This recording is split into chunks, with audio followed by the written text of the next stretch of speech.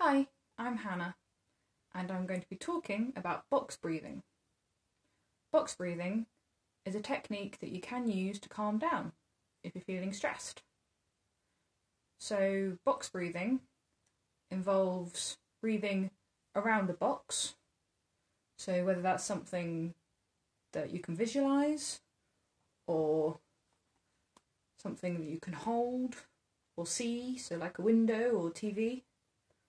Um, so it involves breathing in for four seconds, holding that breath for four seconds, breathing out for four seconds, and then not breathing in for four seconds, and then breathing in for four seconds again, and so on until you feel more relaxed.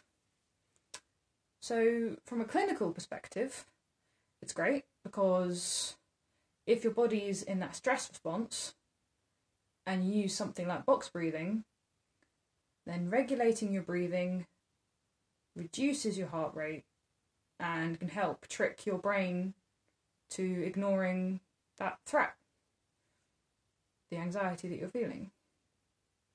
And can also help your brain get out of that fight flight response and then from a lived experience perspective, it's great because it's flexible. Use those options I mentioned. Um, it's not noticeable to other people, and it has a format. So that in itself can be a great distraction.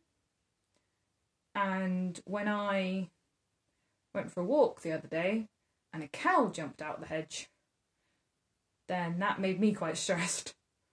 So when I came home, I did some box breathing and I found it really helpful personally. So, yeah, if I use my tablet case as an example of a box, then feel free to join in. So, we're going to start with breathing in for four.